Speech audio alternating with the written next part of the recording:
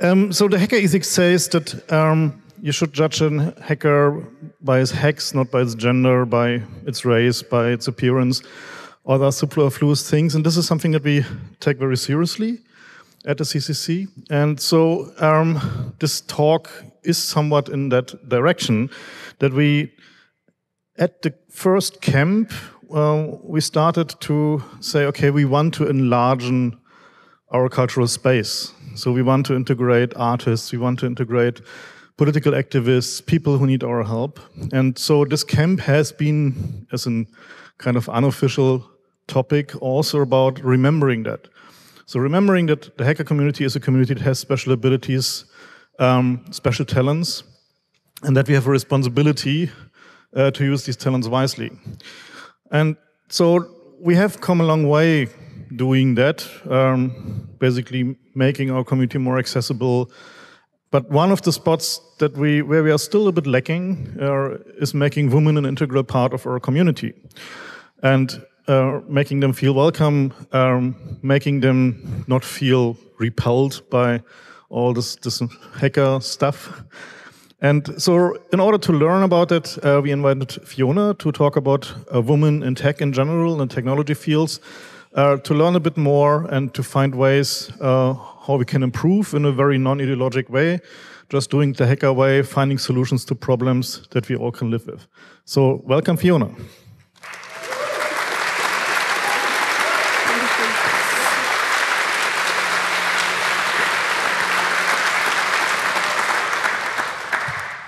Well, thanks a lot for the introduction and welcome to this talk about women in tech.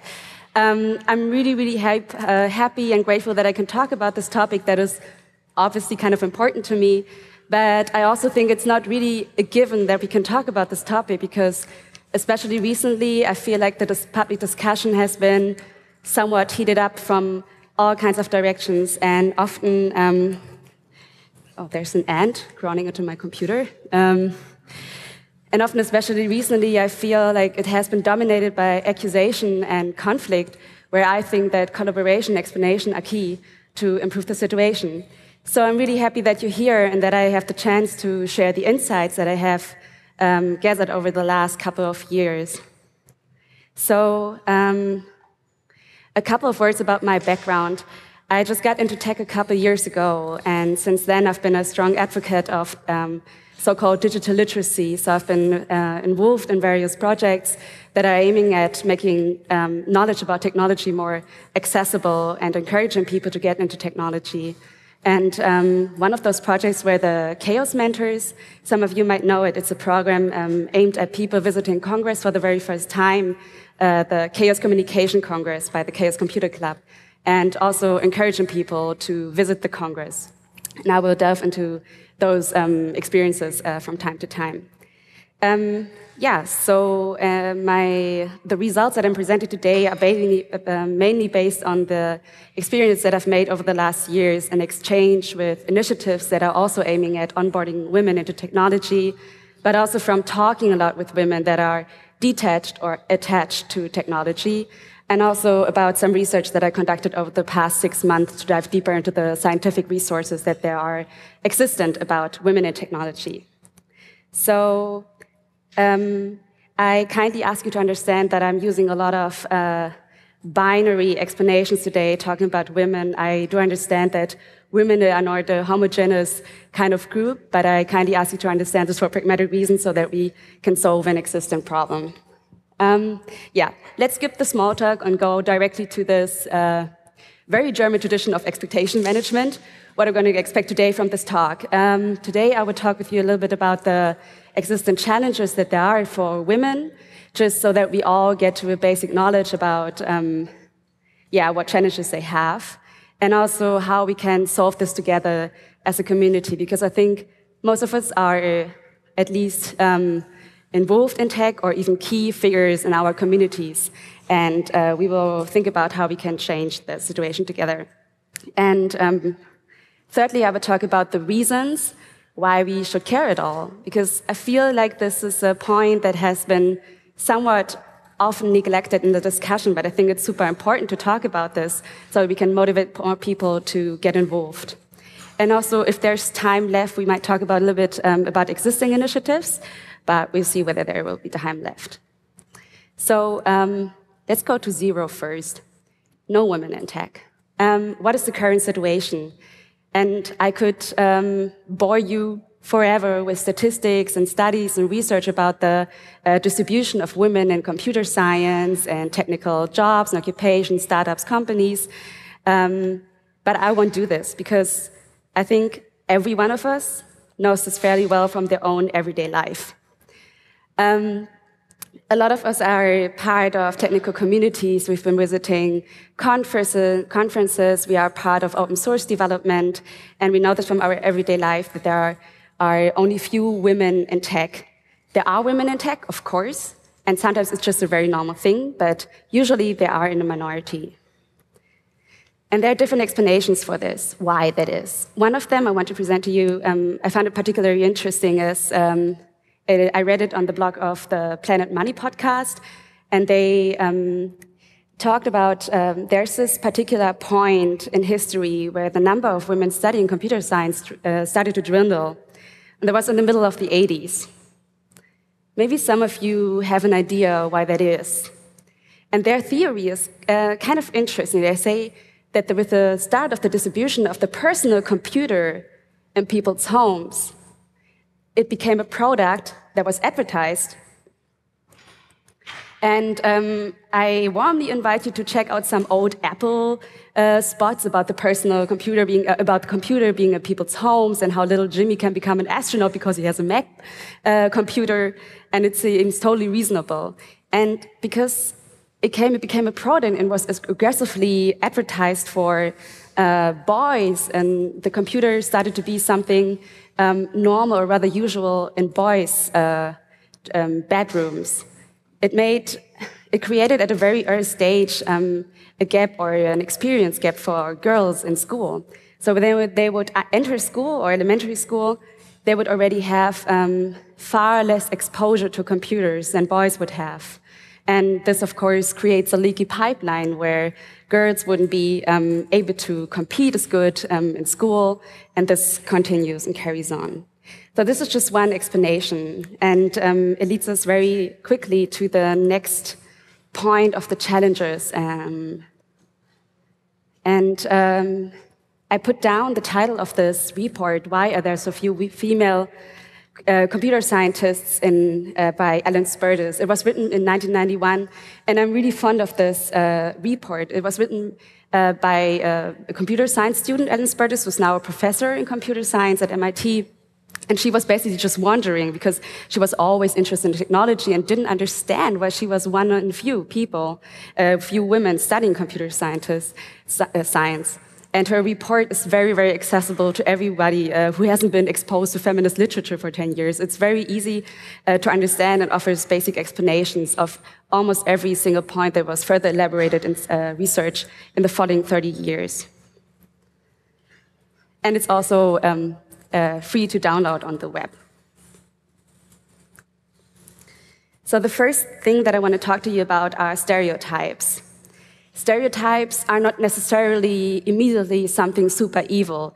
Actually, they're really helpful for us. They help us to um, categorize our environment, to process all the millions of um, images and uh, impact that we are, um, um million of uh, things that we are seeing that we have to uh, grasp and progress. Um, but stereotypes always, you have to keep in mind that um, stereotypes never come alone. They always go hand in hand with some attributions that we ascribe to a group. And what kind of traits we ascribe to people is always dependent on the cultural context that we live in. So um, stereotypes and what we connect with them is always constructed. And we do not only ascribe things, we also start um, to expect things from people that belong to a certain group. And um, for example, we might expect uh, girls not to be good at math. Um, and when we start, or uh, yeah, we might, um, yeah, for example. And um, those things are quite powerful. Um, they can even make people perform in a different way. And this is called stereotype threat. So when you might have heard of the term self fulfilling prophecy. And it sounds way more esoteric than it actually is. It's actually um, based on a lot of research in social psychology about the term stereotype threat or the phenomenon. That means that people also live up to the expectations that are put on them. And um, so chances are good when a girl is being taught um, her entire childhood that girls usually suck at math, chances are good that she will have problems in math. And also, this goes even further. If a person that has, uh, for example, darker skin or a certain migration background and grows up in a context where this migration background or people with this background are expected to be criminal or less intelligent, chances are very bad that this person will experience trans equality. So when our stereotypes um, limit the possibilities that other people have, we call this um, prejudice. And if those stereotypes make people perform less well um, in a task, uh, we call the stereotype threat. And I think one of the most impressive examples for this comes from a study from 1999 when um, uh, three groups of uh, women that are studied, were studying math and had an Asian migration background were asked to perform on a math test and they were all expected to perform more or less equally well. And the first group only had to claim their migration background. The second one didn't have to claim anything at all. The third one only claimed the gender. And the third one performed way above what was ex expected. And the third one that only gave, um, mentioned their gender, were performed way below what they were expected to perform as. So simply remind people of the stereotypes that they have or the traits can have a significant effect on, the, um, on their performance on a task. So, in our context, there's not only um, this kind of stereotype that is very powerful that women can't program or are bad at math. Um, there's also another stereotype about the programmer uh, being this male person um, tinkering in its cellar. So second problem, um, so just to, uh, um, to, to explain it again, stereotypes, we all have them, and um, they are very, very powerful in affecting us, how we see each other, and how, also how we behave. A second problem that I came across personally a lot, and that everybody I talk to who's working in initiatives also comes across, is self confidence. Um, women tend to evaluate their own abilities and performance way below the way they are actually performing. And um, this has posed or has turned out to be one of the biggest challenges also for me in working with women that they, they don't perform less well. They just think they can't do stuff. And I think it's not only evaluating their own performance and abilities, it's also about whether they feel comfortable going somewhere, whether they feel appropriate going somewhere, especially with the chaos mentors. Um, I've been experiencing this a lot that. Um, so the chaos mentors, we get about um, 100 or 120 uh, mentees each year. And last year we had about 50% female mentees. And a lot of them write me emails and they say, yeah, uh, hi, I'm a I, have been totally fascinated with computers. I study uh, math. I'm doing my PhD in biochemistry, but I don't know whether I belong on the Congress. So they often feel not appropriate or not immediately belonging to a certain community as, uh, when it's tech related. And um, the next problems are kind of uh, related to structural problems, meaning they're already deeply embedded in our society. There's family planning that women get pregnant or they take care of their family or older people um, or their parents when in critical years when they actually have the chance to have another push to their career. Or women are usually more um, more inclined to uh, move together with a partner somewhere else and also, of course, deeply um, intertwined with the point stereotypes, the lack of positive role models um, affects a lot. Uh, uh, the, like, I mean, take any random cultural reference to hackers, it's chances are good that this reference is male. And also, of course, environment. Um, when a community or a job, um, um, uh, an office or a group is male dominated, doesn't mean that this group is um, deliberately being uh, hostile towards women, but it can be that the conference is taking more into advantage um, or into consideration the needs and interests of men just because they are the majority. So, as Frank said, we are going to choose the hacker approach and not delve into the problems too long, but think about how we can solve this issue. And I put together some solutions that I've gathered um, over the last couple of years. And they might sound really, really simple, but I'm often surprised that they're still not being um, followed, um, considering how simple they are. So the first one is be explicit and inviting. And this might seem really, really simple, but if you are organizing a conference, if you are leading a group, if you want women to come, to be part of your community, why not say it? Be explicit. You have to um, invite women for them to actually feel welcomed. Because at the Chaos Mentors, for example, um, a lot of people told us that just alone the fact that they knew, oh, the CCC is having a program that is explicitly aimed at making a landscape more diverse and explicitly aimed at onboarding women, already took for them away such a kind of a default mindset of not being welcomed.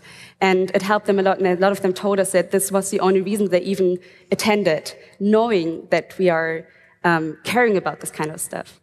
So um, communicating that you're caring about this issue is key. And secondly, um, role models. Of course, women being on stage is a super important thing and um, manipulating the narrative that is dominant, that there are only male hackers, showing that there are female hackers. Um, and women on stage is a super great thing. Um, but we also, it's not the only thing that we should care about. It's also about this women being in a hackerspace it's completely normal. It's not a big deal. Um, and I think that sometimes this is even more important. So whenever you have the chance to represent your hackerspace, to talk about it, always keep in mind that there are also women. Because if you don't, chances are good that people will assume that there aren't any. And also talking about this issue. Um, so this is a very good start.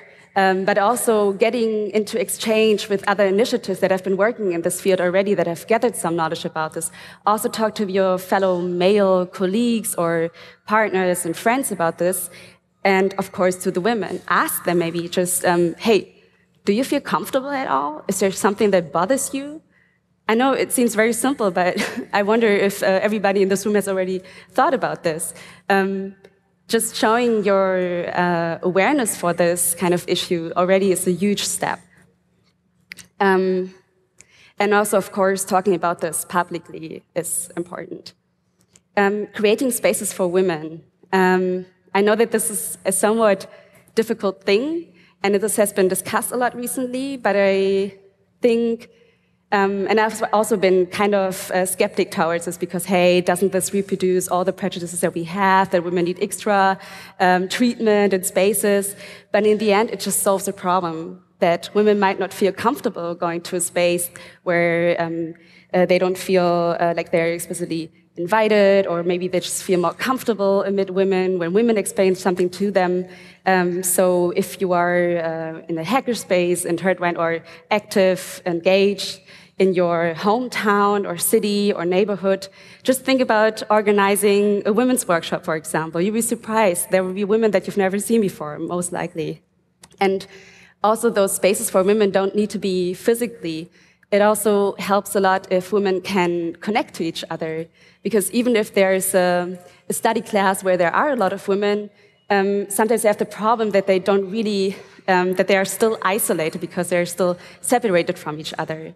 And um, connecting women with each other has proved to be super helpful, especially in universities and institutes.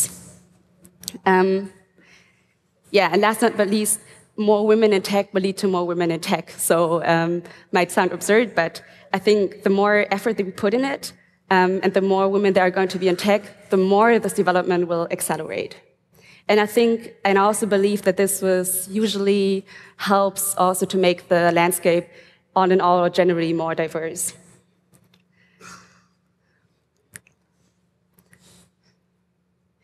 So why should we care at all? Um, I think one of the main reasons is fairness. It's not about, um, I mean, if somebody doesn't want to learn programming, that's totally fine. I can totally understand. If somebody doesn't want to get into computers, it's also totally fine. But if somebody wants to, we should give them equal opportunities to enjoy technology just as we do. And this is about fairness. Diversity in communities. The broader we are, the more powerful we are. The more perspectives we are, the more we have, uh, the more possibilities we have to react. And um, more uh, diverse perspective usually make us more um, uh, capable of dealing with different challenges. And thirdly, what I personally think is most important is diversity in technology. Our lives, and not only our lives, but everybody's lives on this planet, is being vastly dependent and affected by technology. And we should ponder about whether this technology shaping our lives and everybody else's should be created by a relatively small percentage of this planet's popular, uh, population. And um, if we want to use technology for different interests, challenges, then different people with different perspectives need to get involved. And I don't think that only women code differently. I think everybody codes differently, and everybody has different challenges in their mind, different perspectives, and a different set of awareness. And um, yeah, I think in order to use technology for different kind of needs and interests, we need different people. So I um, briefly just wanted to talk about what initiatives they are, but I think, yeah, since we have only limited time, how much time do we have left?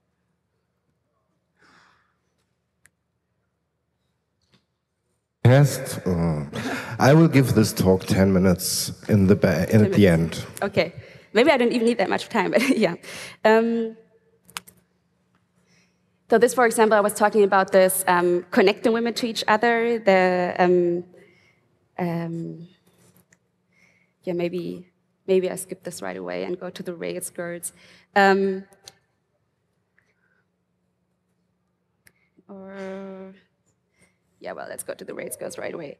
Um, other Rails Girls people in this room? Yay! Thank you so much for your work.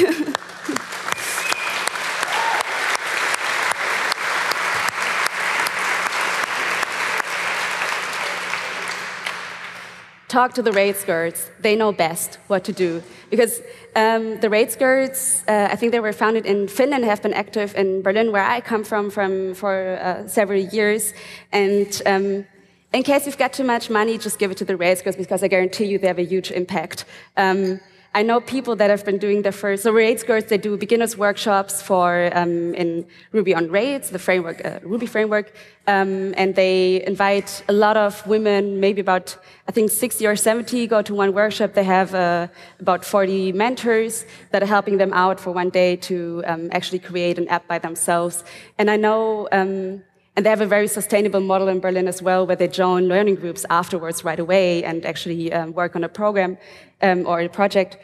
And I know some people that have been doing their first ever programming workshop um, two years ago, afterwards went into halftime, worked their butt off, and now they're working as developers. And um, after simply two years, they quit their job, work as developers, earn probably four times of the wage that they've earned before.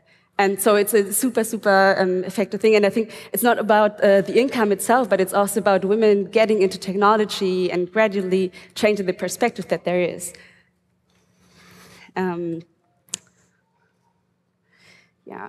And there's also one interesting thing. There's this uh, computer science class at the Hochschule für Technik und Wirtschaft in Berlin, and they have the first ever women's computer science class, which sounded bewildering to me at first, but then I talked to them and it's solving so many problems. And actually, they're solving so many problems that I think, hey, why don't you stretch this out to many other computer science classes? For example, having um, hours that are, uh, or studying hours that are family friendly. Um, yeah, but this just briefly. But I think much more important than other initiatives uh, is the fact that we are here. So I think that every one of us has huge leverage in their hand to change things in our hackerspaces, in our uh, family, amid our friends, and also in our study classes and companies.